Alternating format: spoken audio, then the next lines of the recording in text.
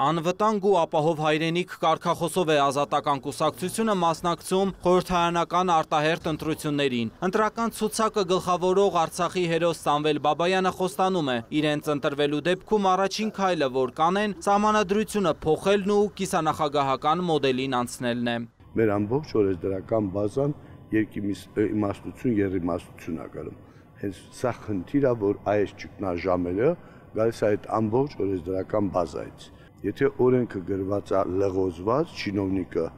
իր տեղը նստած կարող է ոնց ուզում մեկնաբանի, մեկ գումարը տալիս է իր հարցերը լուծում է։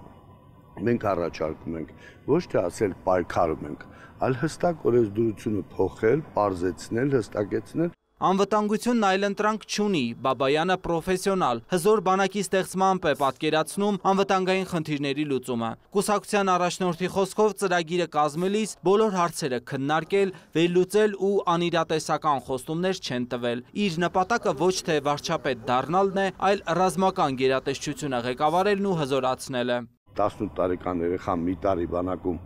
ուչեփ կա ծառայի ու գնա իրենց տուն ցանկության դեպքում եթե իր կյանքը ցանկացություն ունի բանակի հետ կապի, նա գալիս է պայմանագիր կնքում 6 ամիս նորից պարապում, նոր միայն ծառայում պայմանագրային։ Ազատականը բարեփոխումներ է նախատեսում նաև սոցիալ-տնտեսական ոլորտներում։ Սամվել Բաբայանը վստահ է, իրենք այն ուժն են, որ կարող են Հայաստանի տնտեսությունն ուշքի բերել։ Շատ աշխատատեղեր ստեղծելու խոստումներ չեն տալիս։ Փոխարենը խոստանում են բիզնեսը հզորացնել ու մրցունակ դարձնել։ Ինչ վերաբերում է գերիների հարցին, Բաբայանն իր տարբերակն է առաջարկում։ Մեր գերիները պետք է դիմացը վերցնենք, փոխանակենք նույն ձևի, ուրիշ ոչ մի ձև, բայց առաջի երթին, որ դու չվերցնես, հետո ինքը չվերցնի։ Առաջի գիծը փակել է պետք, կոոպերատիվ, անցել յոգորտ քալին։ Սա է ձևը։ Ադրբեջանցու հետ ընկերություն արավ, աս փեդը ձերքից մի գցի, այդ փեդը գցել եք ձերքներից, թիմի վզրներից ծռել, նա մենք իրանց պիտի կարողանանք հուզոր բանակ ունենանք,